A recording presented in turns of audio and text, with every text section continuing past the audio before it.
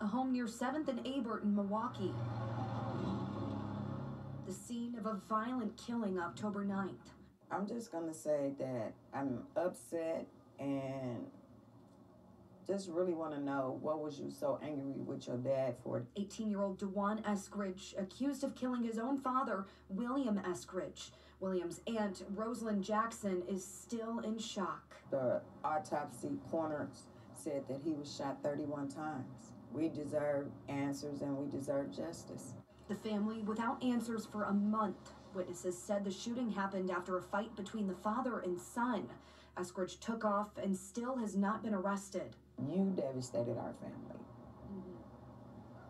Mm-hmm. And to think that you could just do this to your father, sad. What would you tell Dewan if you could see him today? I don't care what the circumstances may have been, there was no reason for that. And you didn't just kill him, you overkilled him. Dewan was last seen on security video running from the house that day. Jackson wants him brought to justice. I believe he is on the run, and I would just like for him to turn himself in um, and do the right thing. We deserve to know why. In Milwaukee, Erica Finke, WISN 12 News. Here's another look at Dewan Eskridge. He's charged with first degree reckless homicide and has a warrant out for his arrest.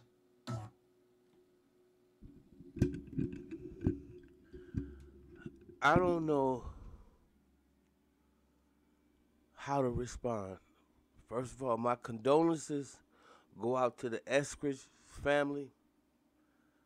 I don't understand how in the world something like this could happen to Billy. I do not understand. But with that being said, y'all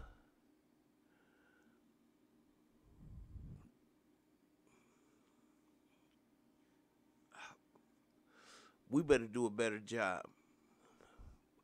Because this young man was lost. He was lost. You got all kinds of pictures of them flipping money, flashing money. Our children are lost. Lost.